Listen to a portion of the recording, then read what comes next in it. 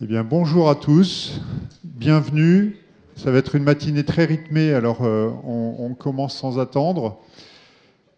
Bienvenue à cette première euh, réunion en présentiel après une première semaine, une première saison de, de, webinars, de rencontres, d'échanges sur notre espace collaboratif du club des leaders du marketing et des ventes.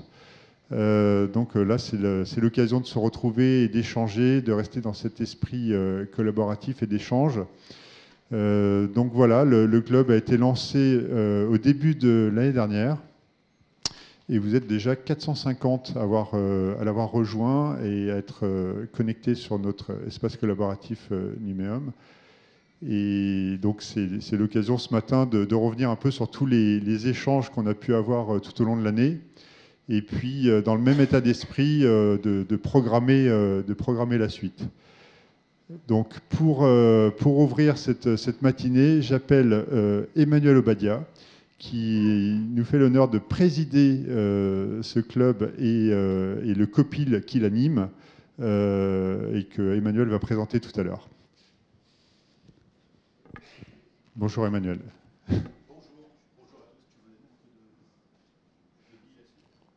Oui, absolument.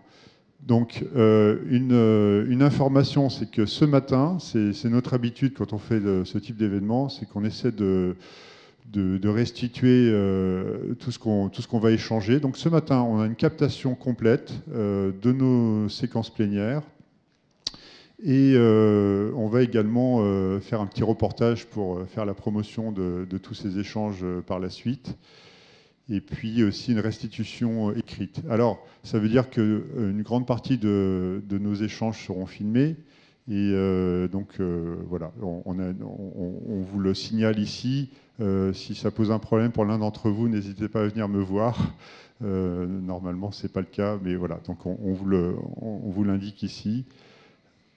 Voilà, je, je crois qu'on a le consentement de tout le monde. Je vous remercie.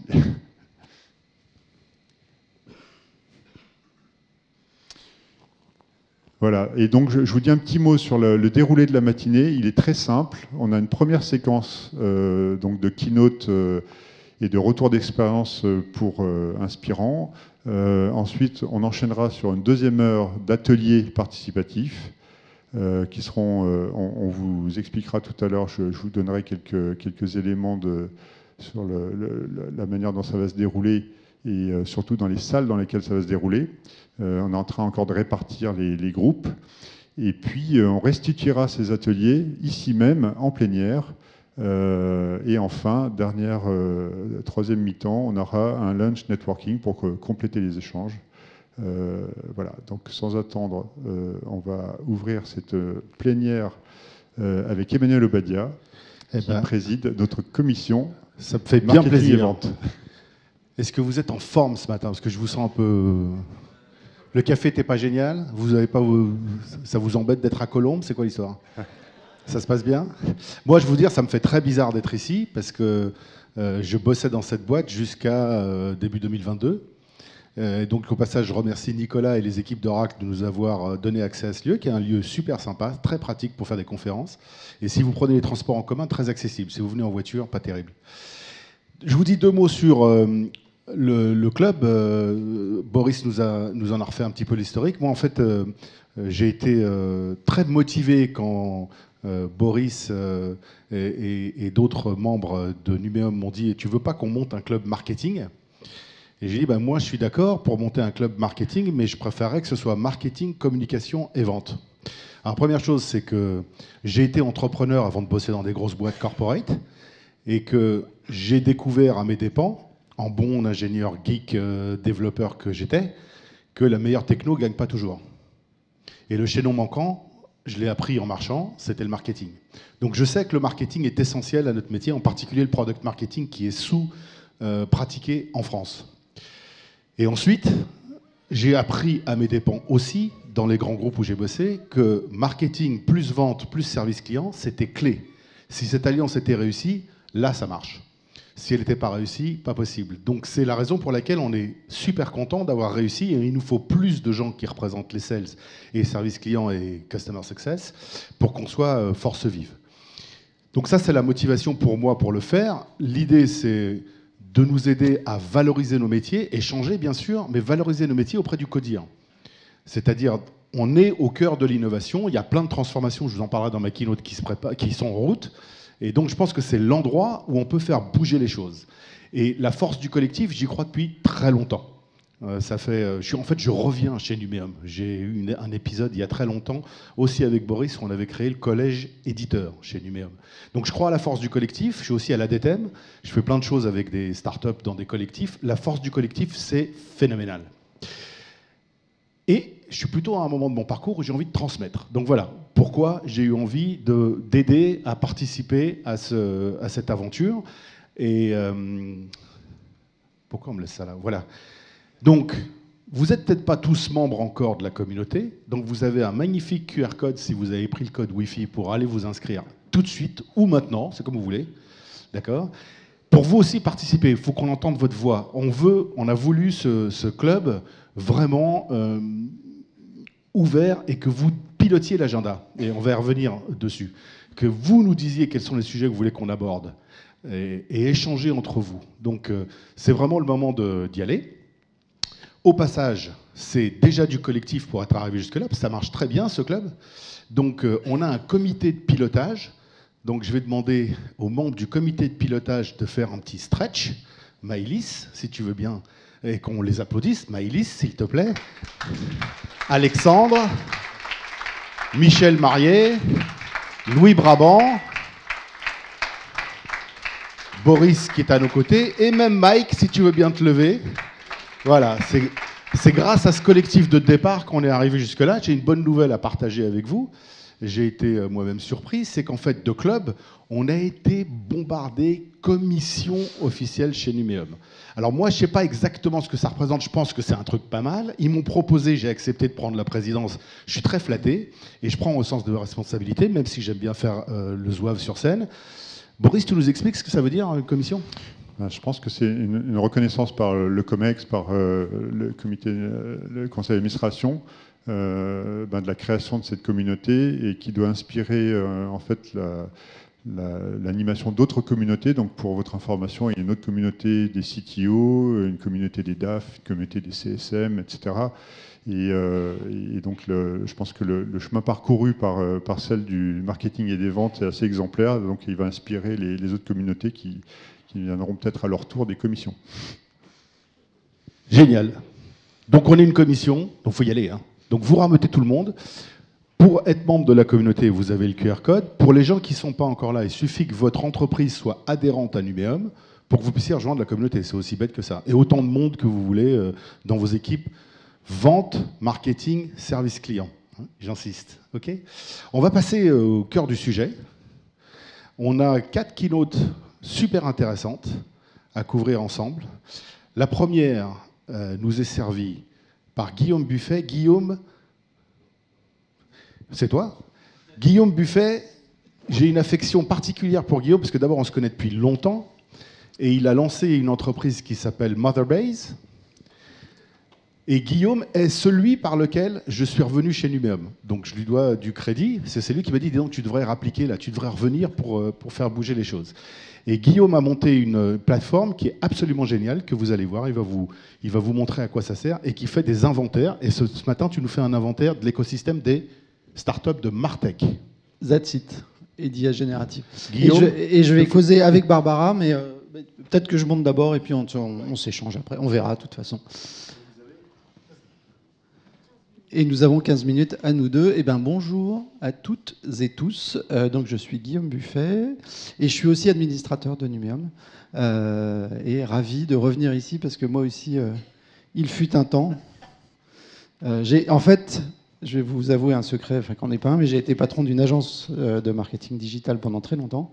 Et j'ai quitté le monde du marketing digital pour aller sur celui du design et de l'innovation il y a une quinzaine d'années.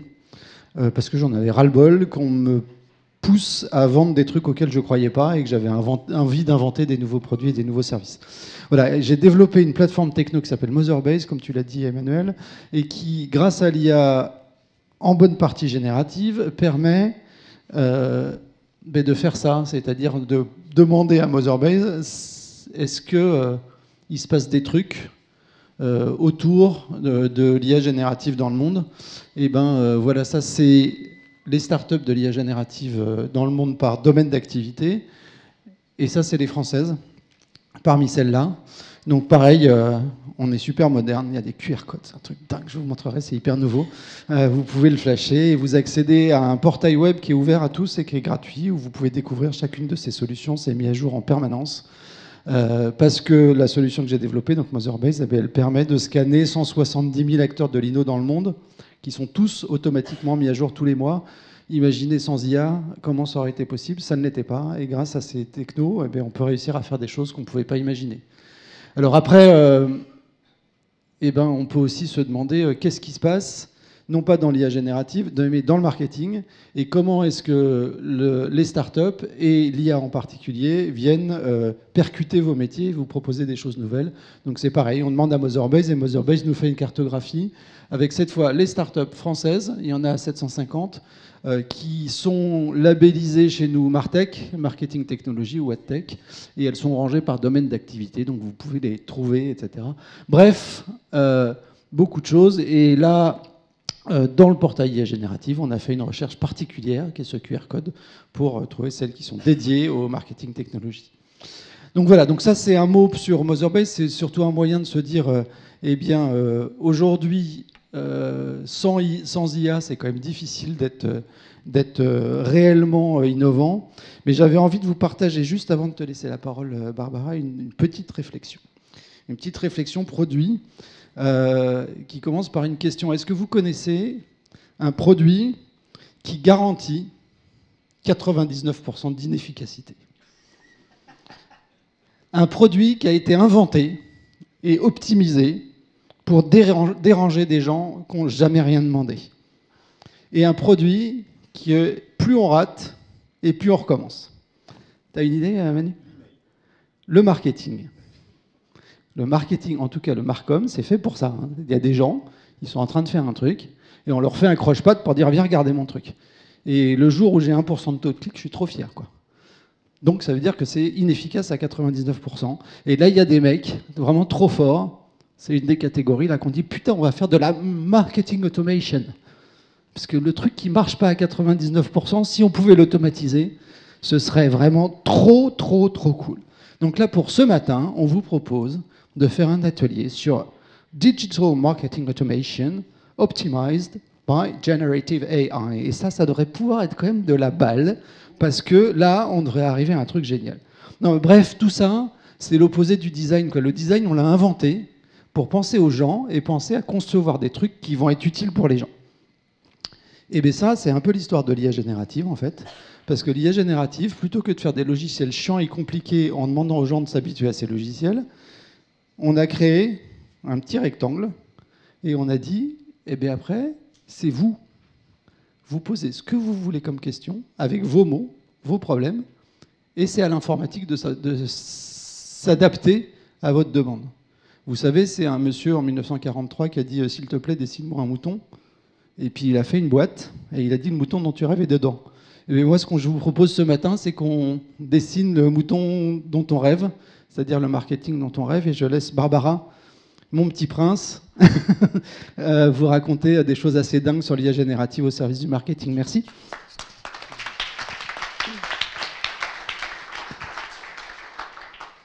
Je crois que vous m'entendez. Euh, bonjour à tous. J'ai demandé à ce qu'on garde le visuel de, Guillaume. Euh, tout ça pour. Euh, moi, je suis Barbara Delacroix, je suis la CEO d'Evana, qui est un soft en fait qui permet de concevoir des agents intelligents. On va voir ensemble ce que c'est. Et pourquoi j'ai gardé ce visuel? Parce qu'en fait, avec Guillaume, on s'est rencontrés parce que j'avais obtenu un de ces visuels, le premier qui était gigantesque et toutes les startups françaises, même plus que françaises, et j'avais pas trouvé la mienne. Et donc j'avais écrit un mail pour dire bah, je comprends pas pourquoi on n'est pas dedans. Et au final, on a, pu comme ça euh, se, échanger euh, et, et, puis se retrouver là aujourd'hui. Moi, je pense qu'on peut passer sur. Euh, d'ailleurs, aujourd'hui, je suis, on a des vanas dans, Motherbase, on est très contents.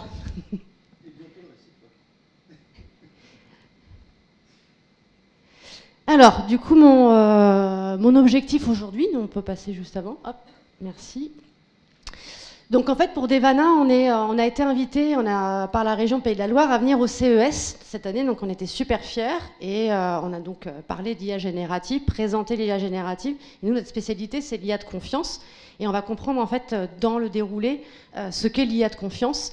Mon rôle ce matin, c'est de vous présenter les tendances 2024, c'est la mission qu'on m'a donnée donc avec un axe IA générative appliqué au marketing.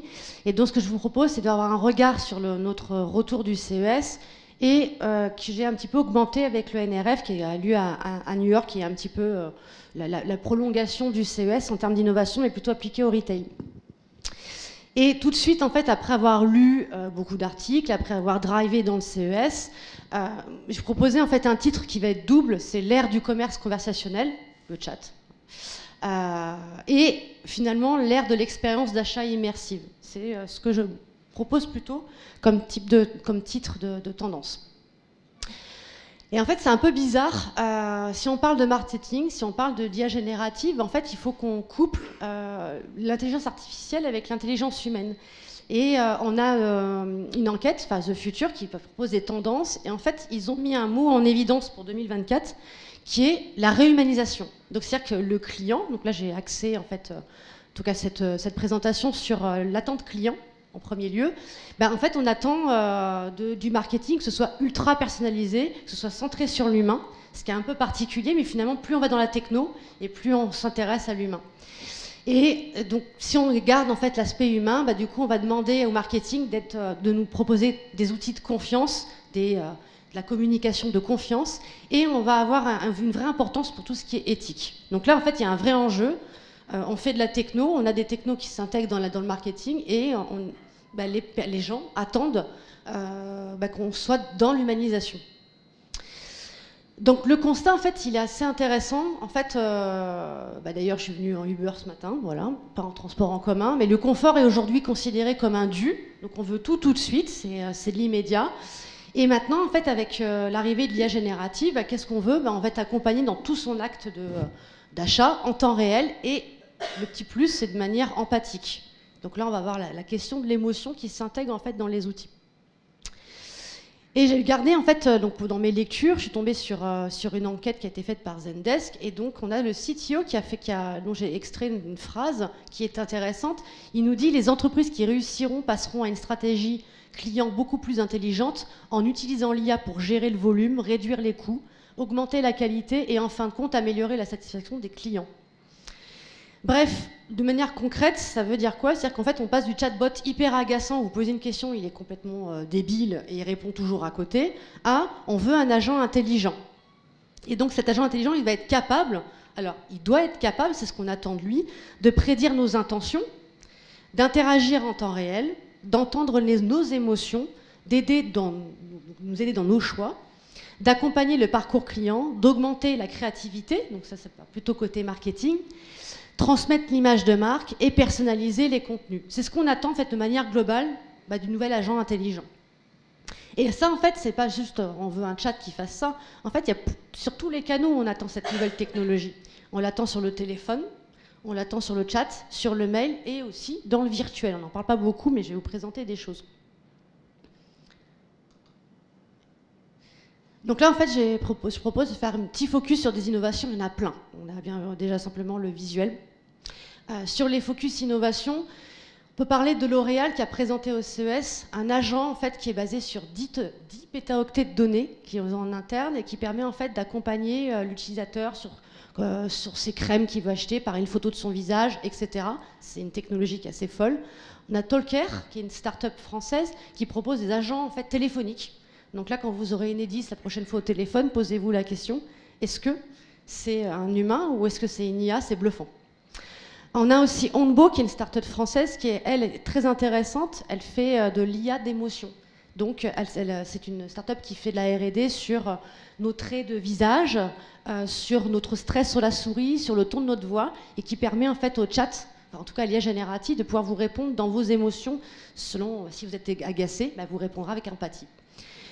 Autre technologie qui était présente au CES, c'est la start-up Imki qui a bossé avec The Couples pour pouvoir en fait concevoir un agent basé sur leurs produits, leur style et aider à l'idéation.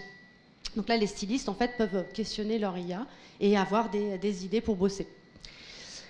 Ensuite, euh, ce qui est intéressant aussi, c'est l'IA embarquée. On n'en parle pas beaucoup, mais là, on a trois exemples. Ce qui était présent au CES et qui a fait un énorme buzz, c'est Rabbit Air One. En fait, c'est une sorte de nouveau téléphone d'IA.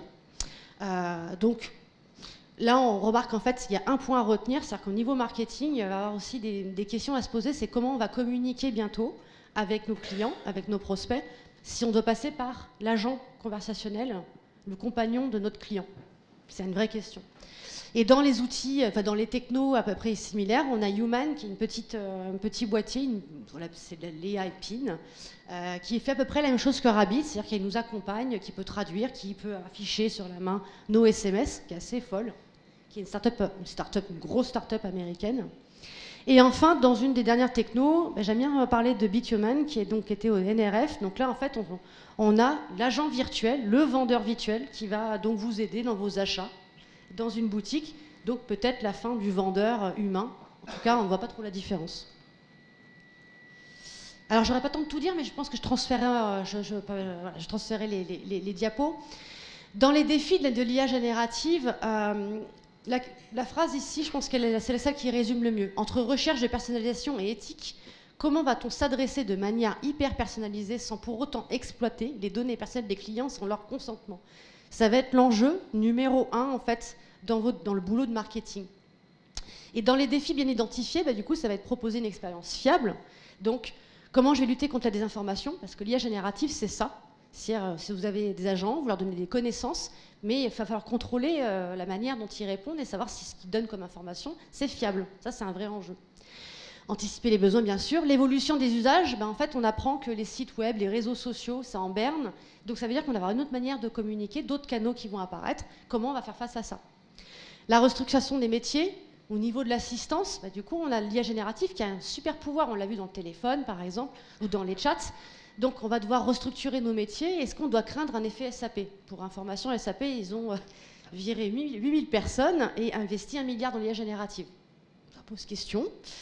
Et puis, nous, la protection des données, c'est un point majeur. Et donc, euh, dans l'étude que j'avais euh, retenue, on a 28% des responsables de, la, CX qui disent bah, qu'en fait leurs équipes n'ont pas les connaissances appropriées pour la sécurisation des datas. Or, on attend du marketing qu'il soit en fait professionnel dans, cette, euh, dans ce domaine-là pour pouvoir répondre aux attentes des clients. Et très important, euh, les défis mal identifiés. C'est-à-dire, en fait, c'est les défis. C'est pas grave. Ce sont en fait les défis. Ça, c'est important parce que justement, ça parle de Devana. Euh, dans les ce qui est de, défis mal identifiés, c'est qu'est-ce que je vais choisir comme IA générative? Et en fait, euh, c'est bien les données, les clients, etc. Mais nous, en tant qu'entreprise, en fait, on va avoir besoin de choisir la bonne IA. Il n'y a pas que ChatGPT qui existe, il y en a plein d'autres. Et euh, par exemple, Mistral, j'ai entendu, qui est français, mais il y en a d'autres. Hein. il y a Albert aussi, etc. Euh, et en fait, nous, ce qui va nous intéresser en entreprise marketing, je me mets dans cette position-là, c'est la question de la multiculturalité. Pardon, je l'ai, un peu écorché. C'est-à-dire qu'en gros, quand je vais choisir une IA, qu'est-ce qu'elle représente comme culture Qui l'a faite Quelles sont les données d'entraînement Et en fait, ça, ça va, être, ça va faire partie maintenant de mon identité de marque. C'est hyper important, et ça, aujourd'hui, personne n'en parle. Et donc, ça découle la question de l'éthique. Est-ce que mon IA est raciste? Est-ce qu'elle est, est, qu'elle est sexiste? Est-ce qu'elle a des biais Est-ce qu'elle est ce que j'ai mis ici, influençable. Parce que moi, si j'indique un prompt en tant que client euh, qui est sexiste, est-ce qu'elle va rebondir là-dessus Est-ce que ça va être catastrophique? Et la question du traitement des données qui va avec. Donc, est-ce que mes données d'entreprise sont sécurisées? Est-ce que mes clients autorisent le traitement de leurs données? Et là, en fait, on va commencer à rigoler. Comment les restituer si on me les demande Et comment les supprimer? Si j'ai entraîné un modèle avec les données clients, comment je peux supprimer ça? Bref, je crois que je vais combien? Une minute? Même pas? Euh, Au final, le constat majeur actuel, c'est que les entreprises sont toutes, tout, juste au stade exploratoire. Si on prend une échelle scientifique, on est là vraiment au moment où on teste, mais on n'est pas encore au niveau opérationnel pour tout le monde. Ça, je vous le transmettrai. C'est-à-dire qu'en fait, pour passer de l'exploration à l'intégration de l'IA de confiance, vous allez devoir en fait relever en interne différents défis avant d'intégrer des innovations à tout va. Défis techniques, c'est, on a vu, le choix du modèle, par exemple, et la sécurisation des données. Défi opérationnel, on va s'en citer un, c'est comment je vais acquérir des connaissances et des compétences en IA générative en sein de mon entreprise.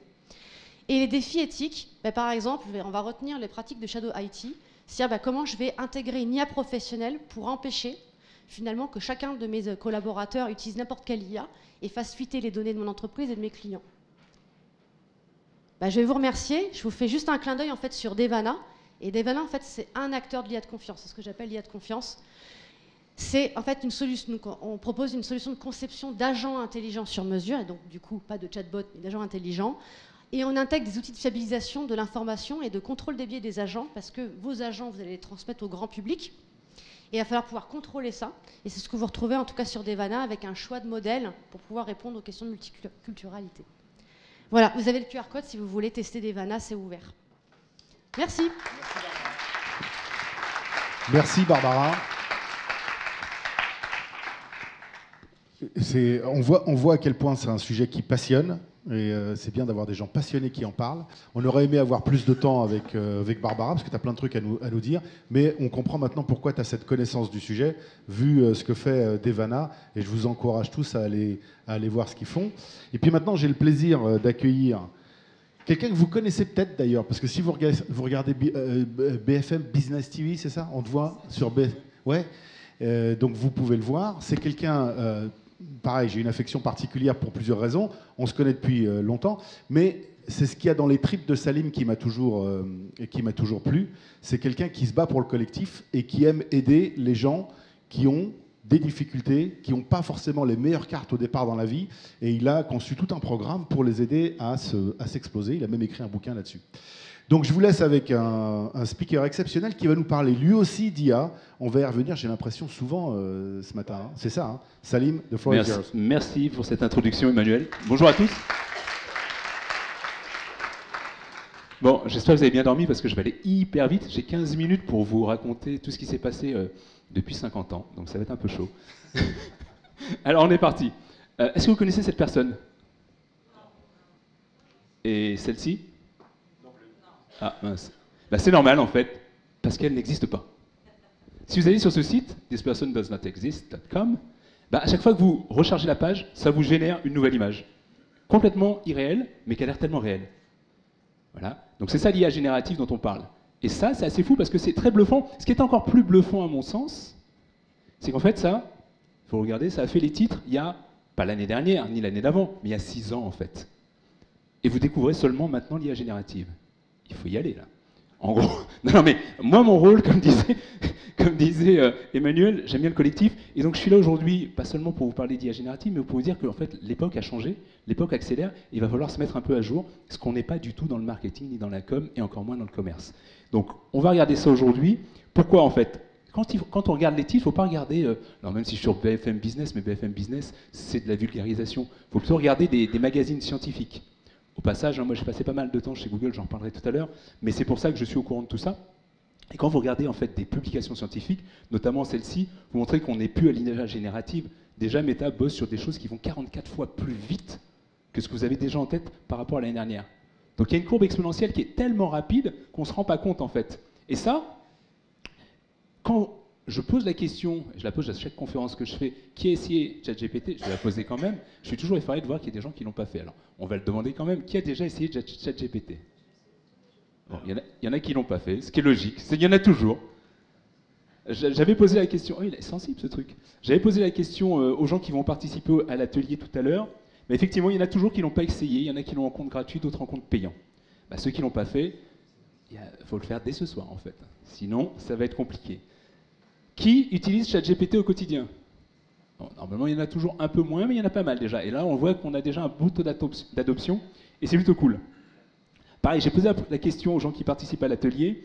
Là, c'est la première fois que j'ai une distribution de cette sorte. D'habitude, il y a beaucoup plus de gens qui sont plutôt vers, vers la gauche là-bas que là. Là, c'est assez rigolo, c'est assez, euh, assez, disparate. Mais là, oups, pardon. Hop, eh, mais hyper sensible ce truc. Euh, autre question, qui pense que l'IA générative, globalement, va pouvoir disrupter euh, les comptables dans les cinq prochaines années? Donc là, il y a un peu moins de monde. ok. Les graphistes, peut-être? Là, il y a la moitié à peu près qui pense que... Et je parle dans cette année. Hein. Pourquoi je vous parle de cette année? Parce qu'en fait, quand vous regardez, cette photo, c'est une photo qui peut être faite par un graphiste. Ça lui prend facile deux jours. Deux jours pour arriver à ce niveau de détail, un graphiste, c'est ce qu'il prend. Je l'ai fait l'autre jour avec une fille de 7 ans, ça lui a pris à peu près 2 minutes. Ça, c'est fait par une fille de 7 ans. C'est 2 minutes. Donc un graphiste et tous nos métiers, je vois quelqu'un qui hoche de la tête, mais on aura peut-être le temps pour faire des questions et on, va en reparler, mais ça c'est fait sur mon ordinateur avec une fille de 7 ans, pour, pour de vrai. Donc en fait aujourd'hui on va beaucoup plus vite et on se rend compte qu'on peut gagner en productivité. Même question pour vous, qui a gagné plus de 20% de productivité l'année dernière grâce à l'IA générative? Ok Moyen pour certains. Qui pense que cette année il va gagner au moins, oups, pardon, mais qu'est-ce que 20% grâce à l'IA générative? Vous pouvez même rajouter plus, hein, vous aller encore plus loin. Et donc, on arrive au départ de là. C'était juste une petite introduction. Donc, je me présente, je m'appelle Salim Nassur, j'ai passé plus de 25 ans dans la tech. Euh, comme j'ai pris l'habitude de dire, il y a deux choses qui m'intéressent. Enfin, il y a plein de choses, hein, la musique, les voyages, etc. Mais il y a deux choses principalement, c'est la tech et comment la tech peut être au service de l'humain. Et on arrive à une période où on ne sait plus trop si finalement euh, on ne confond pas innovation et progrès, mais tout est en train de s'accélérer. Et c'est ce qu'on va regarder aujourd'hui par rapport à ces métiers du marketing, de la com et du commerce. Au passage, ça, j'ai fait vite fait euh, l'image en 5.5, hein, pour ceux qui ne me croient pas. Alors, comment ça s'est passé? J'ai demandé, OK, je fais une conférence rapide sur mobiliser, euh, là, là, j'ai pris le titre que tu m'as donné, fais-moi un, truc, il m'a fait un visuel, j'en ai eu pour 30 secondes, j'ai mis le visuel, je suis passé à autre chose. Voilà, c'est comme ça que ça se passe aujourd'hui. C'est cette vitesse à laquelle on va. Je vous mets juste un petit reportage rapide, on ne le laissera peut-être pas, euh, il y en a pour une minute, mais c'est pour vous compreniez un petit peu ce qu'on peut faire aujourd'hui avec la tech, et je vais vous l'expliquer après. The growth of AI has threatened to reshape countless industries, but maybe none more so than advertising. Platforms have long used complicated machine learning to target ads, but now technology like ChatGPT is being used to create ads, create new, custom, creative. Julia Borson took a deep dive into how it could reshape the economics of the business. The future of advertising is here, thanks to generative artificial intelligence. The uh, models that are generated here are not real people. This is a fully AI generated model. Don't need to hire the model. You don't need to hire the cameraman. That's what Scale AI offers marketing agencies and brands. Alex Wang, CEO of Scale AI, a startup valued at over $7 billion, says his tools blow up the bottleneck that slows down advertising teams by enabling them to use their clients' data sets to instantly customize ad images with generative AI to test what drives the highest return on ad investment. You can just generate tens of thousands, hundreds of thousands, maybe even millions of different uh, possible ads to then test. And you can use some of these ad platforms to immediately take you know, some of these generative AI ads, test them, and see what drives clicks, what drives a response from their audience. Other startups, such as ChatGPT rival Jasper, offer AI software to accelerate no. ad content creation. You can create eye-catching marketing and advertising copy in seconds. And Meta says it's working on the ability for brands to use generative AI to create ads. For now, it offers AI tools to A-B test ads and quickly improve. And while Google has integrated AI into ad creation and targeting for years, it hasn't yet launched generative AI options. But we can expect this next generation technology to proliferate, delivering instantly customized ads, and for brands, likely better results. And you can see this car on, mm -hmm. uh, on these icy roads in wow. the middle of. Uh, it's like a cars driving down the road. I know, exactly. Donc là, imaginez un petit peu le, le shift dans vos équipes marketing, mais on va parler aussi du commerce après comment on peut aller beaucoup beaucoup plus vite aujourd'hui grâce euh, à, l'intelligence générative en fait. Et en fait, très rapidement, normalement je fais une presse en une demi-heure, voire en deux heures parfois. Là il me reste dix minutes, même pas. Et en fait, il y a trois façons, trois façons d'y arriver en fait. Pour comment Pour ne pas se faire dépasser, il faut s'adapter, comprendre ce qui se passe, innover et se développer. Là, si vous aviez l'impression que j'allais vite, je vais passer en mode supersonique maintenant. Donc, si vous êtes lâché, vous levez la main, je n'irai pas moins vite, mais au moins je saurai que vous êtes complètement lâché. Donc, c'est parti.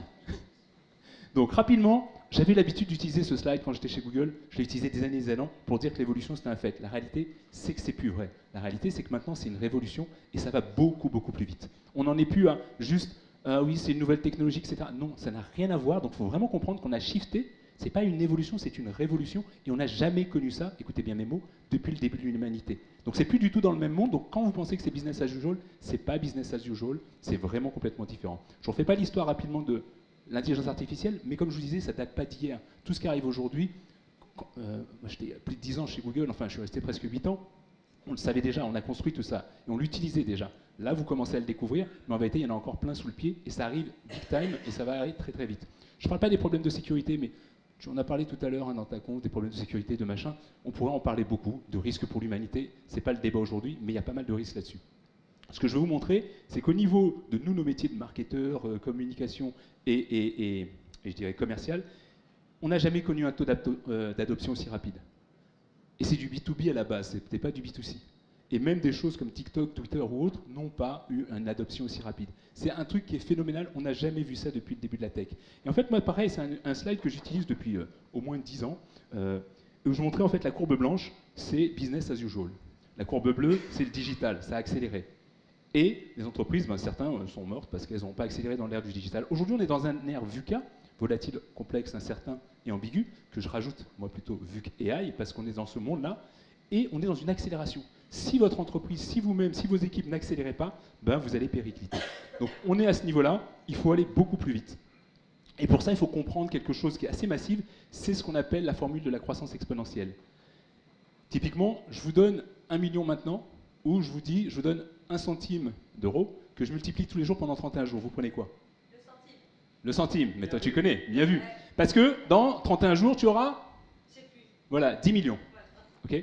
C'est ça en fait. Le cerveau humain n'est pas, n'est pas câblé pour comprendre. On est dans une linéarité là où il y a une exponentialité.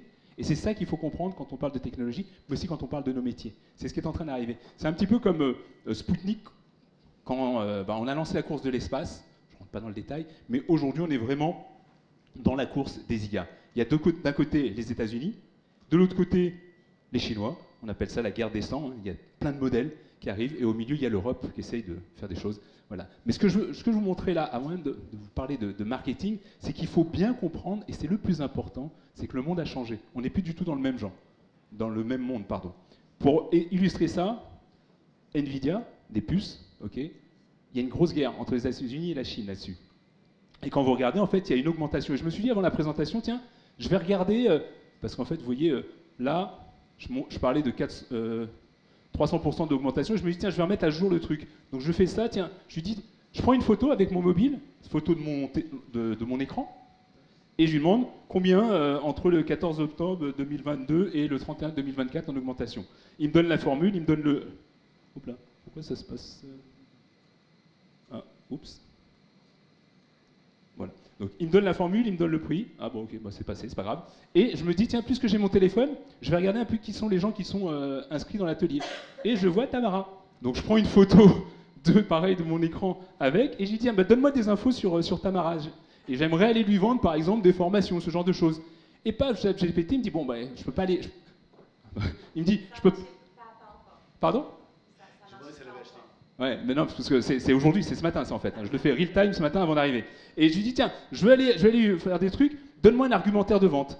Bam, bam, bam, bam, il est allé chercher sur le site de Protist, il m'a donné tout l'argumentaire de vente. Je lui dis, qu'est-ce qui l'empêche de dormir? Ta, ta, ta, fais-moi un email. Il me fait un email, il me donne tout. J'ai juste pris une photo. Vous vous rendez compte? La puissance du truc. Là, d'un point de vue commercial, vous êtes en rendez-vous, pas vous y allez. Donc je parle très. Enfin, OpenAI a lancé un papier en mars dernier qu'ils ont remis à jour juillet dernier ou août allez le voir, ils expliquent tout leur plan sur l'automatisation de toutes les tâches et le marketing, la com et le commerce est vraiment dedans. Innover, pourquoi? Parce qu'en fait, si vous n'innovez pas, vous avez bien compris, vous êtes mort. Donc dans nos métiers, il y a plein de choses à faire. Je ne vais pas rentrer dans le détail parce qu'on n'en a pas le temps, on le verra sans doute pendant l'atelier, mais que ça aille du brainstorming à la création de nouvelles offres en passant par une façon de commercialiser, évidemment, ça va changer beaucoup de choses. Pourquoi? Bah, Parce qu'il y a ce petit gars, là, Sam Altman, patron euh, euh, d'OpenAI, qui lance des nouveautés tout le temps. De l'autre côté, il y a Google qui court après et qui lance aussi d'autres nouveautés. Et après, qu'est-ce qui se passe? Bah Ça, vous voyez, il faut vraiment suivre. Hein. C'est d'hier. Hier, ils ont sorti un truc, alors, ce qui va vous passer à côté, mais c'est énorme. C'est des GPT. Donc les GPT, on en avait parlé, c'est la possibilité de créer des petits agents. Imaginez, vous créez plein de personnes, un copywriter dans votre équipe, euh, ensuite vous créez euh, un graphiste, etc. Vous avez différentes personnes, vous créez toute votre équipe de votre entreprise, et maintenant en plus ils peuvent converser ensemble et faire tout le boulot qu'on leur demande. Donc c'est hyper puissant ce qu'ils sont en train de mettre en place. Je ne rentre pas là-dedans, on en parlera pendant l'atelier, mais grosso modo, ce qu'il faut voir, c'est qu'il y a plein, plein d'IA. Donc comme le disait tout à l'heure Guillaume, heureusement qu'il y a un peu des machines pour pouvoir aller voir quelles sont les bonnes IA. Ce qui est intéressant aussi de voir, c'est quand on regarde les pays qui utilisent le plus. Et en fait, derrière les États-Unis, l'Inde, l'Indonésie et les Philippines. Et ça, ça, ça devrait vous alerter. Pourquoi ces pays-là? Parce que ces pays-là, ce sont ceux où on avait délocalisé nos productions d'images, de contenu. Bah ils ont compris avant nous. Ils se sont dit, tiens, on va continuer à leur vendre, comme si c'était nous, mais on le fait faire par des IA. Donc ils ont compris avant nous qu'il fallait automatiser ces tâches-là. Donc là, très rapidement, bon, on pourrait faire le tour des, outils. Il y a aussi un autre, alors, au-delà du, super, euh, comment outil de Guillaume, il y, a, il y, a, un site qui s'appelle There's an AI for That, où vous allez et vous cherchez, et il y a toutes les IA qui sont référencées également là-dessus. Et ça, c'est hyper important. Je passe là-dessus, paf, paf, paf. Là, autre exemple hein, qui peut vous servir aussi bien en marketing euh, qu'en commerce, l'analyse de données. Là, je l'ai pris par exemple, je faisais le, test l'autre jour. Je prends le rapport d'activité de L'Oréal, 400 pages, je le balance, paf, ça me donne tout en 30 secondes. Et on en est là. Donc, comment on fait ça? Ben, On apprend, on teste, on teste et on apprend à échouer rapidement. Donc c'est ça qui est important, ce qu'on appelle l'effet prototypage. Et on innove en permanence, quel que soit le métier. Pas, on n'attend pas que ça vienne de la R&D.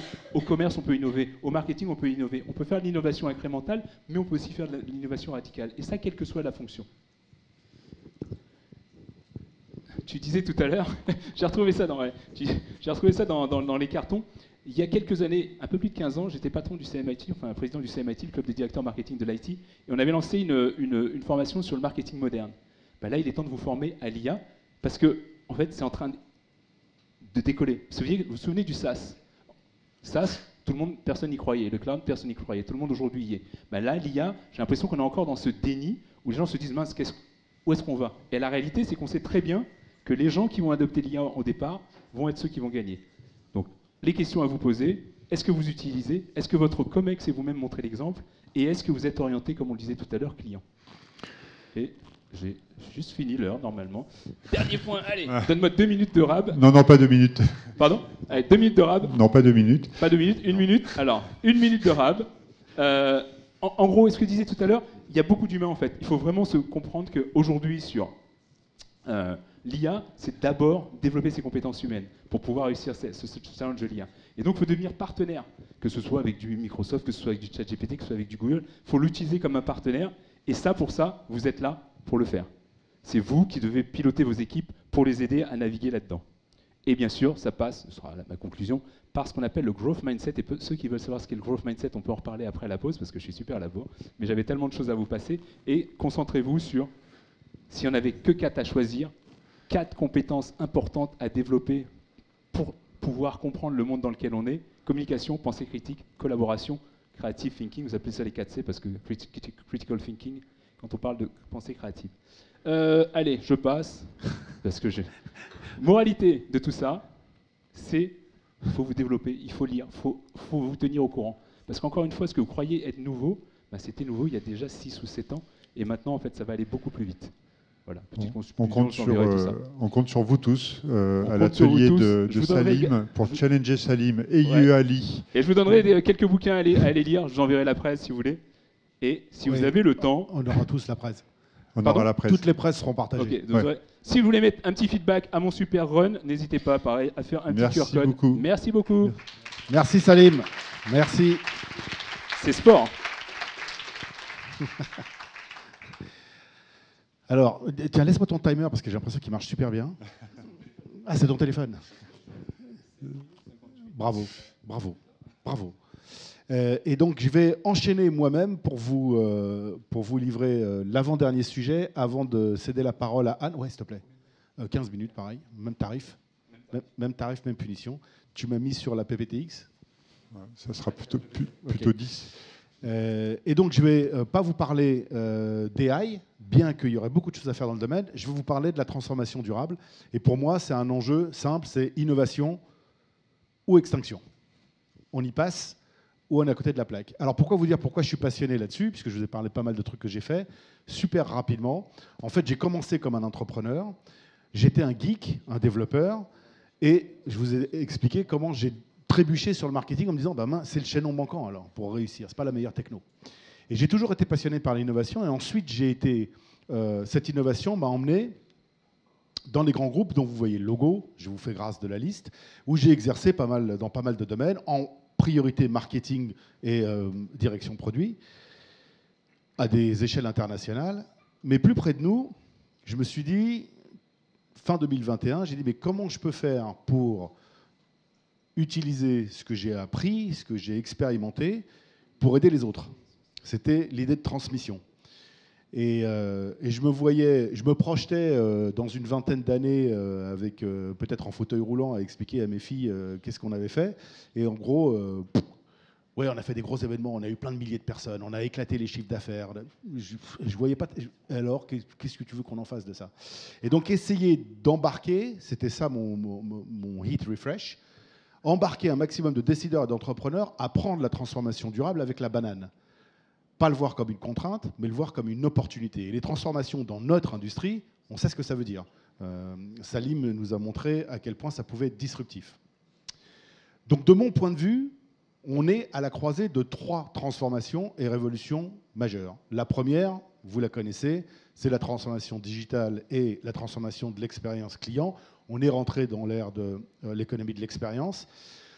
Et dans ces trois révolutions, on va voir que la crise sanitaire les a accélérées. Ici, bah oui, euh, d'après McKinsey, 60% des euh, consommateurs ont changé de comportement d'achat pendant les confinements, voire de fournisseurs. Et ils ne sont pas tellement revenus en arrière. L'autre stade, vous la connaissez probablement, c'est toujours de McKinsey. En huit semaines de confinement, on a fait un bond en avant d'adoption du digital de 5 ans. Donc ça, c'est le premier choc. Mais en parallèle de ça, on a vu le deuxième choc qui est le rapport qu'on a au travail et au lieu de travail. Et la chose qui a mis ça en exergue, c'était ce qu'ils appellent aux États-Unis la grande démission, vous vous rappelez? 22 millions d'Américains qui démissionnent de leur poste, ça représente 16% euh, des, actifs aux États-Unis, là où d'habitude c'était 2,4% par mois. Donc un vrai choc tectonique. Six mois plus tard en Angleterre, un sondage a montré que 25% des actifs prévoyaient de changer de job dans les six mois. Donc ce n'est pas que les US. On a changé notre rapport au travail et on a refait surgir en fait l'importance du bien-être et de la raison d'être dans tous les compartiments. Et donc la troisième révolution, la troisième transformation que j'appelle une révolution, la révolution de l'impact. C'est l'impact des entreprises au-delà de la performance financière sur la planète et les people. Et vous voyez que, euh, vous ne peut-être pas les stats, mais il y a, 73% des gens, quand ils sont interrogés, disent Ça m'inquiète, moi, ce truc-là, le dérèglement climatique, ça m'inquiète. Et 80% disent On est prêt à changer de boulot, on est prêt à changer de vie par rapport à ça. Donc, c'est passé dans l'opinion, ça provoque des réactions, ça s'ajoute, ça a été évidemment accéléré avec le confinement parce que raison d'être. Dans les entreprises, on parle d'ESG. Là, on, va parler de RSE, mais on parle d'ESG, environnement, social, gouvernance, parce que ça remet en question la gouvernance des entreprises. D'abord sur leur transparence, sur leur éthique. Mais si vous prenez un pas de recul et vous vous dites ces trois transformations sont arrivées, ont été accélérées un peu en même temps par la crise sanitaire, vous vous rendez bien compte, et vous le vivez au quotidien, que la façon de gouverner nos entreprises, la façon de piloter notre stratégie, elle est mise à rude épreuve. On doit beaucoup plus muscler adaptabilité, agilité et résilience. C'est vraiment la question du moment. Alors on peut se poser la question, mais pourquoi ces trois révolutions euh, bah, On prend un pas de recul.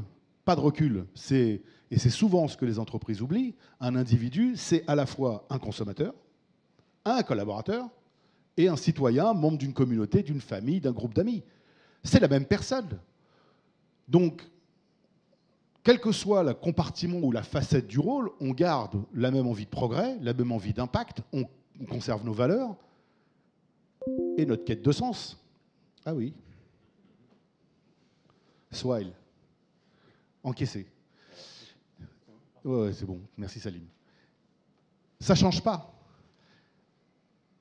Et c'est ce que les entreprises, pour beaucoup, et en particulier les dirigeants d'entreprise, et pour ceux d'entre vous qui êtes dirigeants d'entreprise ou qui faites partie de COMEX, c'est quelque chose à vraiment prendre en compte.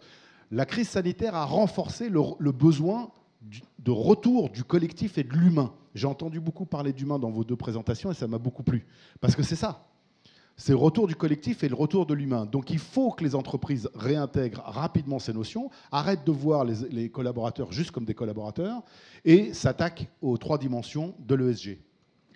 environnement, social et gouvernance. Pour ma part, le déclic, c'est que j'étais encore chez Oracle. J'ai bossé dans cette maison, donc ça me fait un peu bizarre d'être là ce matin, mais euh, ça me fait très plaisir.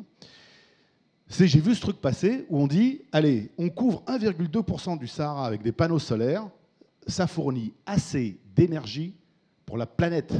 Alors au début, j'ai dit, euh, c'est une, blague, moquez de moi. Et j'ai cherché, mais ce n'est pas du tout une blague, sauf que 1,2% du Sahara, ça fait une très grosse surface. Et techniquement, j'ai trouvé une boîte italienne qui avait mis au point des panneaux solaires qui pouvaient s'installer dans, dans, le Sahara. Je vous raconterai l'histoire une autre fois, on n'a pas le temps ce matin. Mais donc, ça veut dire c'est possible. Il y a au moins une innovation, et il y en a plein d'autres, si vous, voulez rentrer dans Team for the Planet comme actionnaire. Qui sont actionnaires de Team for the Planet déjà Génial. Donc, et là, vous allez voir des innovations en action. D'accord? Mais dans le même temps, on se rappelle que à Paris en 2015, l'accord de Paris pour lutter contre le dérèglement climatique, c'est les pays qui l'ont signé, c'est 70% du PIB mondial. Alors ça affiche une volonté gouvernementale. Après, est-ce qu'ils sont passés à l'action assez rapidement? On va modérer l'histoire. Mais en tout cas, il y a une volonté. La deuxième chose, c'est que les entreprises aussi montrent le chemin. On aime ou on n'aime pas Elon Musk, c'est un autre débat. Mais Tesla a fait la démonstration que mettre le durable au cœur de sa proposition de valeur et de son offre, ça marche. Capitalisation boursière de Tesla, quatre fois celle de Toyota, qui est le second. 8 fois celle de Volkswagen, quand ils vendent beaucoup moins de voitures. Euh, euh, Tesla vend 1,3 million de véhicules, quand les autres en vendent 10 millions par an. Donc il y a une démonstration que les entreprises qui mettent ça au cœur de leur stratégie, bah, ça marche. Au passage, c'est 37% de la capitalisation boursière des 60 premiers constructeurs automobiles. C'est impressionnant. Bah, puisqu'on parle de market cap, les investissements durables en 2020, donc gérés sous ESG, ont, pris 15%. Ils représenteraient 35 300 milliards de dollars, c'est-à-dire 36% de tous les actifs de la planète. C'est quand même assez balèze. Sauf que la façon de mesurer reste à affiner, je vais y revenir à la fin.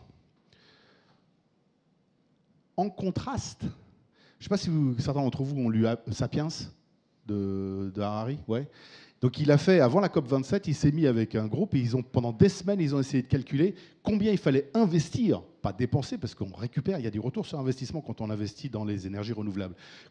combien il fallait investir par an pour arriver à la neutralité carbone en 2050 Retenez ce chiffre.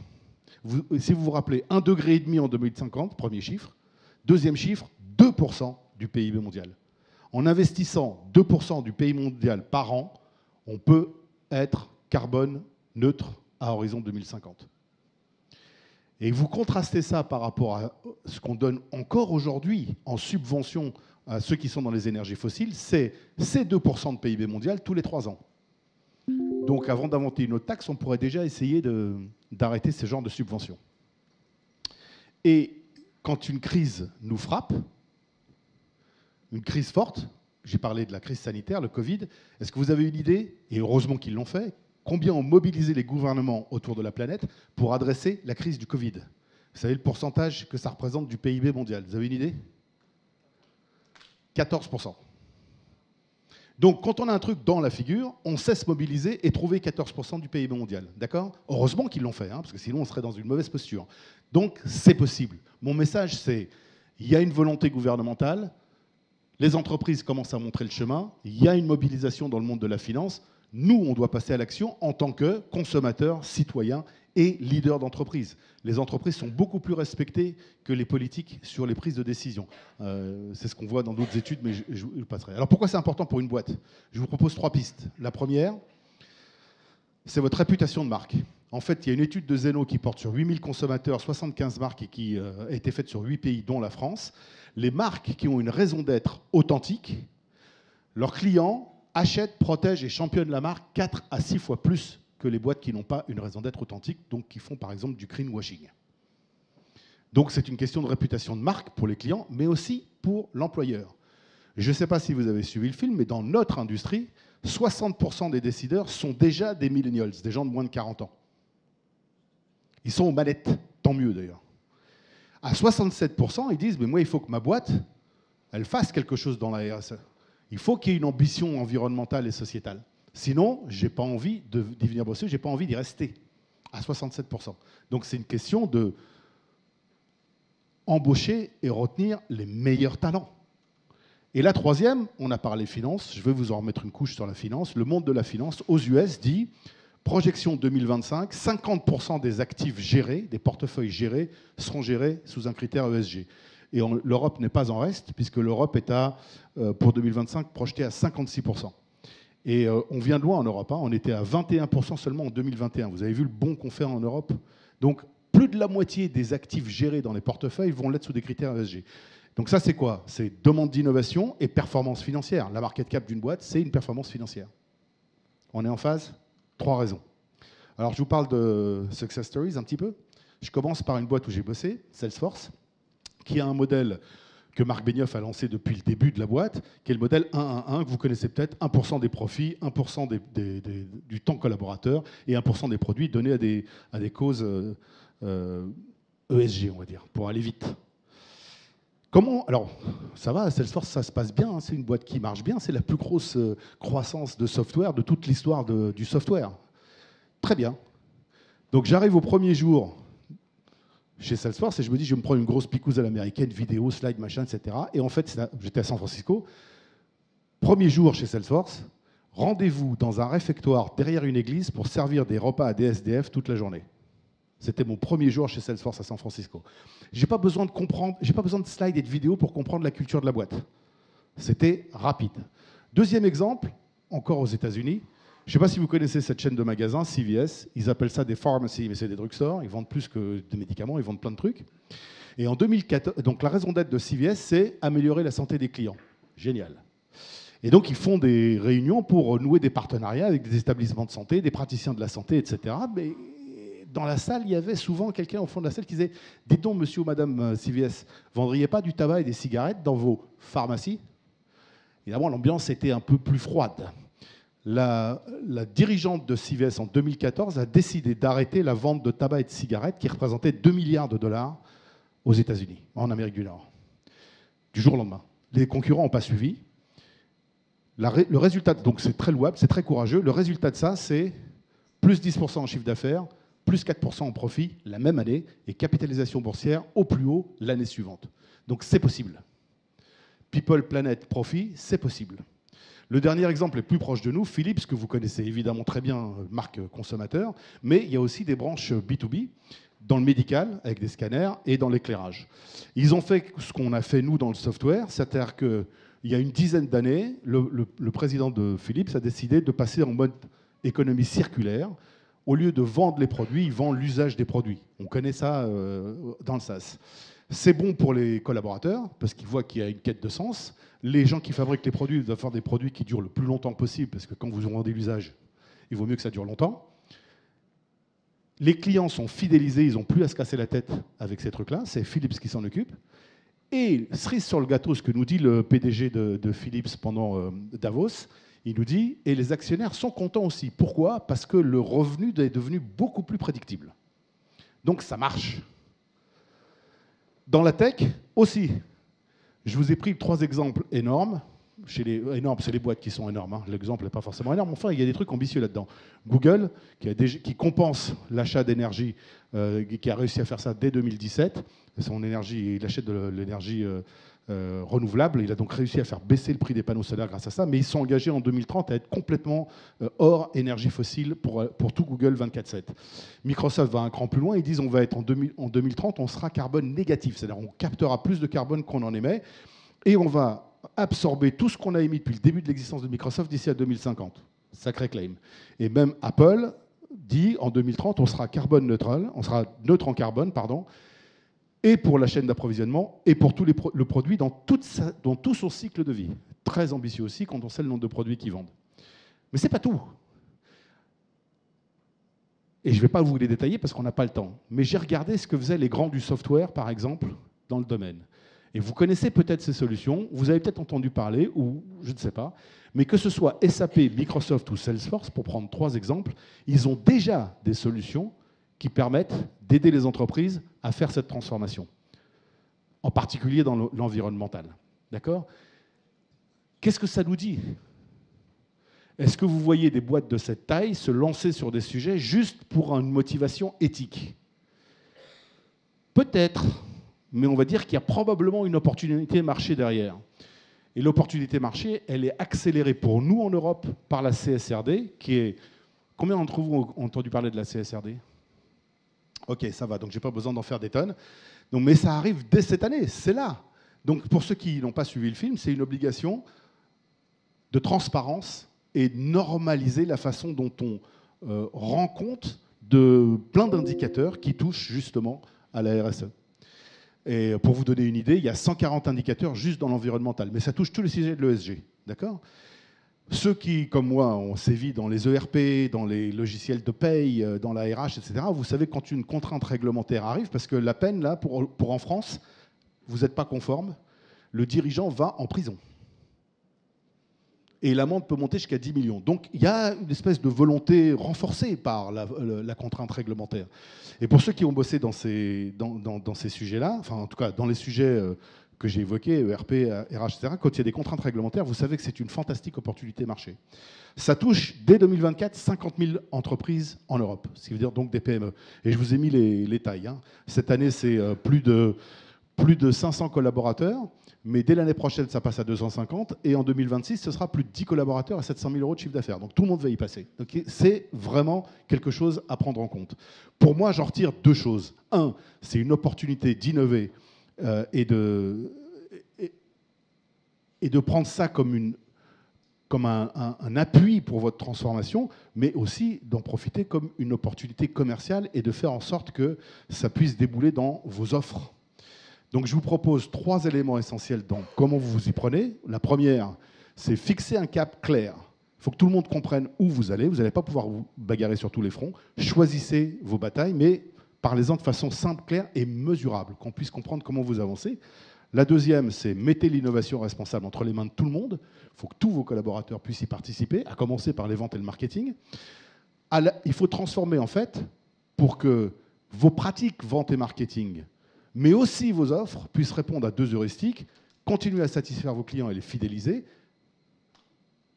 et répondre aux enjeux de la transformation durable. Et vous devez faire les deux en même temps, et vous voyez que ça peut marcher pour certaines entreprises. Et enfin, il faut éduquer pour l'action, c'est-à-dire qu'à tous les niveaux dans l'entreprise, il faut que les gens comprennent ce qu'ils peuvent faire, comment ils prennent une décision au quotidien pour aller dans le bon sens, dans le sens de votre transformation.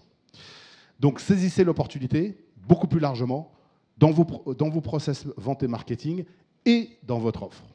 Voilà ce que je voulais partager avec vous euh, euh, ce matin sur le sujet. Vous en reparlerez avec Gilles qui fait un atelier sur le, sujet juste après les, plénières. Et maintenant, puisque j'ai un petit peu dépassé, oui, oui, je suis au courant. J'ai le grand plaisir de passer la parole à Anne Bluto, qui j'ai été euh, très intéressé de voir que sa vision de comment on pourrait orienter, comment on devrait orienter nos approches en les centrant sur le client, qui est une des transformations dont, que j'ai évoquées et qui touche tout le parcours client, dont toute l'expérience client, Anne avait une approche qui était d'abord vécue, d'une part, et très pragmatique. Et donc, évidemment, elle a une solution dans le domaine, mais c'est surtout pour nous parler de comment on fait pour se recentrer sur les clients. Donc, Anne, the floor is yours. on peut l'applaudir. Merci beaucoup. Je lance mon petit chrono. Ah. Bien. Bonjour Bluto. Alors ça, c'est à peu près 70% euh, des messages que je reçois. Moi, il se trouve que mon prénom, c'est Anne. Donc c'est vrai qu'aujourd'hui, cette notion de personnalisation, c'est un vrai sujet. Euh, moi, aujourd'hui, ça me casse les pieds qu'on me dise, dans ce monde où il faut aller très vite, faire du volume, hein, on, a beaucoup parlé de l'hyper-accélération, ben moi, en fait, je vais vous faire une intervention plutôt euh, slow et plutôt comment je fais euh, attention à mon client. Parce que quand on a une stratégie centrée client, ben, en fait, on a envie de faire attention à son client. Et du coup, je reçois ces messages, bonjour Bluto, et puis juste derrière, on me dit, oh là là, 2023, enfin 2024, ça va être horrible. Alors, je ne sais pas si vous les avez reçus, ces messages-là, mais moi, on me dit, mais 2024, euh, ça va être encore pire que 2023. Alors, comment on fait en 2024 pour que finalement, bah, on gagne cette année? Comment on fait? Bah, Pour moi, ma conviction, c'est vraiment que c'est en prenant attention, en faisant attention et en prenant soin de nos clients. Alors, comme une image vaut mille mots, et que dans ma vie d'avant, euh, j'avais eu euh, une vie euh, très attachée au client final, je vais vous faire cette expérience. Donc, je suis Anne Bluto, moi je suis fondatrice d'une solution qui s'appelle Switcho, qui vient centraliser et donner de la visibilité aux offres commerciales entre le marketing et les ventes. Mais là, pour vous expliquer concrètement ce que j'ai vécu pendant une vingtaine d'années dans ma première partie de vie, qui était dans un univers que vous connaissez tous, parce que tous vous avez marché dans la rue. Alors je vais vous la faire vivant. 1, 2, 3, 4, 5, 6, 7, 8. En fait, 8 secondes, c'est le temps, la durée moyenne d'attention qu'accordent vos clients à vos offres. Alors, on va en créer plein des offres, parce que l'IA va nous permettre d'être plus productifs, on va gagner euh, dans deux choses. On va gagner en productivité interne, on va gagner en innovation sur nos produits, parce que l'IA va nous permettre d'aller plus loin. Mais en fait, aujourd'hui, notre client, il a 8 secondes. Donc comment on fait aujourd'hui, en 2024, pour vraiment prendre cette attention? Et aujourd'hui, finalement, dans ce moment où le client il a une attention qui est limitée, hein, quand on parle de l'expérience client, si je refais un peu de marketing, on parle des touchpoints. Il y a beaucoup de touchpoints dans le parcours. Il va chercher 80% des informations en ligne tout seul, et puis après, il va nous interpeller, puis il va aller sur le service client, et puis il va aller voir les commerciaux. Bref, il y a beaucoup de points de, points de contact. Bah, comment on fait en fait pourquoi, Déjà, pourquoi il y a ces points de contact et comment on fait pour gagner cette attention pour que ces secondes nous servent à nous, à la huitième seconde, pour qu'en fait on puisse rester parler avec lui? Eh bien, il y a un point qui est majeur, c'est que finalement aujourd'hui en B2B, c'est valable en B2C, mais c'est toujours bien de se le rappeler, en B2B, 80% des acheteurs utilisent leur mobile pour lire leurs messages, pour prendre des informations. Qui a aujourd'hui envie de lire, euh, d'ouvrir 12 pièces jointes et de lire trois liens par mail reçu sur ton téléphone? On n'a pas envie de ça. Moi, j'ai pas envie de ça. Vous, vous avez certainement pas envie de ça. Et notre client, il faut être très clair, il n'a pas envie de ça. Donc en fait, aujourd'hui, je vais vous présenter euh, finalement trois façons, trois solutions où on va essayer de qu'au bout de cette huitième seconde, bah, le, le client, il a envie de nous parler à nous, en fait, qu'il ait vraiment envie qu'on interagisse. Première solution qui existe, et vous pourrez regarder, des digital sales rooms. Aujourd'hui, c'est un courant qu'on voit beaucoup dans le B2B. Ce sont des espaces qui sont créés pour centraliser, structurer, pouvoir gérer un peu en mode projet avec son propre, client, donc en coopération avec lui, euh, de façon à engager. Un autre point que l'on voit et que les entreprises font, et d'ailleurs on en parlait, Salesforce le fait très bien, les espaces clients sur les sites Internet. J'ai un message qui est aussi bien aligné en marketing qu'en vente, tout simplement parce que finalement, mon support de vente, c'est mon espace client qui est aussi sur le site. Si vous avez de l'argent, si en fait vous avez la capacité euh, à le mettre en place, qu'est-ce qui va se passer? Le client va vous demander un login, un mot de passe et se connecter, et il aura tout centralisé. Donc on va lui faciliter la vie et l'accès à l'information. Et la troisième solution qui existe, ce sont les vitrines B2B. Pas de mot de passe, pas de login, juste de la concentration des informations et on va juste mettre à disposition les informations dans des espaces qui sont contextualisés. Nous, on connaît bien cette pratique-là puisque c'est ce qu'on fait sur euh, Switcho. On vient structurer euh, l'ensemble des informations clients et en fait, l'objectif, c'est que à la huitième seconde, bah, l'interlocuteur, il voit exactement l'information à sa disposition. L'intérêt, c'est quoi? C'est que dans les espaces clients et les vitrines B2B, bah, tout simplement, je peux créer des listes de diffusion. Ça veut dire qu'on sait qu'aujourd'hui, quand on dit le client, c'est faux, c'est les clients, puisqu'il y a une cohorte de décisionnaires. Si on prend euh, ce que disait LinkedIn euh, dans sa dernière étude, on est passé de 8 à 12 euh, là dans les dernières années. Donc aujourd'hui, on a une petite dizaine de décisionnaires qui interviennent dans le cycle de décision. Donc ça veut dire qu'il faut leur parler à tous. Pas facile. Quand on a une offre, comment je fais pour parler à tous et que chacun y trouve son information que la DSI trouve l'information sur la RGPD ou que le, CDO le trouve, et puis comment je fais pour que le métier trouve les informations pour le déploiement du, sujet. Donc aujourd'hui, l'ère du mobile, en fait, elle va vraiment de pair avec l'instantanéité, euh, la nécessité d'aller vite pour le client. Lui, il capte des infos, il a quelques, que quelques secondes, il fait des micro-moments. Euh, donc pour comprendre tout ça, bah, nous, en fait, si on veut faire attention au client, si on veut prendre en compte le fait qu'il ait que quelques secondes, bah, il faut qu'au moment où on va délivrer l'ensemble des offres, bah, en fait, on puisse les centraliser et leur donner de l'impact. Donc en synthèse, aujourd'hui, euh, moi, le message que je veux vous faire passer, parce qu'on a parlé euh, d'hyper-accélération, de growth mindset, moi, ce que je veux vous dire, c'est réfléchissons aussi avec les yeux du client. J'ai géré pendant une vingtaine d'années des marques en B2B, en B2C, avec des produits, vous l'aurez compris, j'ai aussi passé beaucoup de temps dans la chaussure, euh, des marques très connues comme euh, Fago, comme TBS, comme Eram. Quand vous avez des magasins tous les jours avec des gens qui passent quelques secondes dans la rue pour capter l'attention, vous savez que c'est quelques secondes. Ça veut dire qu'il faut penser à cet impact de l'offre et à ce merchandising. On peut créer plein de produits, on peut créer plein d'assets, mais comment je fais, sachant que le temps d'attention est très limité?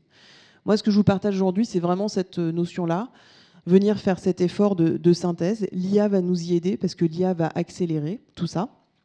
Mais il faut le prendre en compte pour que ce qu'on délivre au client, ce soit focus, parce que lui, il n'a pas forcément beaucoup de temps à nous consacrer, dans la mesure où le marché est aussi euh, très complexe. Donc aujourd'hui, euh, pour moi, une stratégie centrée client, c'est vraiment de réfléchir à travers ses yeux, de réfléchir au fait que nos commerciaux n'ont pas la possibilité de passer du temps à chercher de l'information. Il faut que ce soit tout de suite, parce que quand le client le fait seul avec son IA, en fait, il l'a. Et c'est pas juste, on, passe on est passé d'une ère où on recherchait une information. Aujourd'hui, on cherche des réponses. Et ces réponses, au-delà de les chercher, on veut les transmettre. Et c'est le job des équipes et des marques marketing et sales, cette équipe marketing et sales qui doit coopérer pour donner ces réponses dans un temps d'attention qui est faible. Merci de votre attention.